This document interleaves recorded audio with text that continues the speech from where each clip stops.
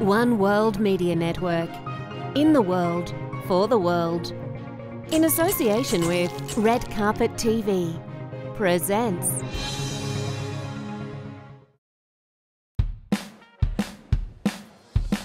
At the 2017 NAMM show. That's the National Association of Music Merchants. And what this show does is provide a format and a platform for dealers across the United States to come and purchase wholesale music products. This is the pinnacle, the largest show, the most amount of dealers, and the most amount of manufacturers. We are Danelectro, Snark Tuners, Evets Corp.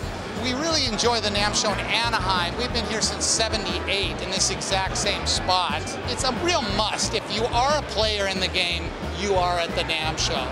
And it enables you to network and just build your presence and its, its ability to grow your product. And so that, that's what it's about.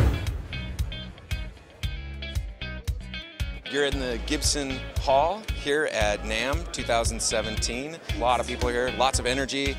People are really excited to see the new stuff from Custom Shop. They're excited to see what our acoustic division is doing. We have artists that are going to be doing table signings. We're premiering some guitars here.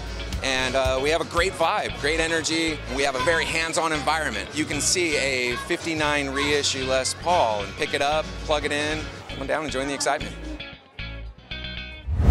This is the John Lennon Educational Tour Bus. This is the world's best nonprofit mobile recording studio. This thing travels the country 10 months out of the year, every year for the past 20 years. what we do is we go to a school, we get a group of kids on board, they get to come on this bus, and with all these tools and with the engineers' help, they get to create a project of their choice in one eight-hour day for free. And everything you're seeing around me is uh, the tools they get to use, and it was all donated. Trade shows are important for us because there's a lot of industry professionals here that, you know, while they support the bus and they might give uh, funding or equipment or both, they get to come on the bus and actually see it and see the effect. And we show them projects on these computers that the kids have done with their tools, with that access. And I think for them, it's the most important thing, you know, to actually see the proof. And this bus has 20 years of proof, and that's an amazing thing.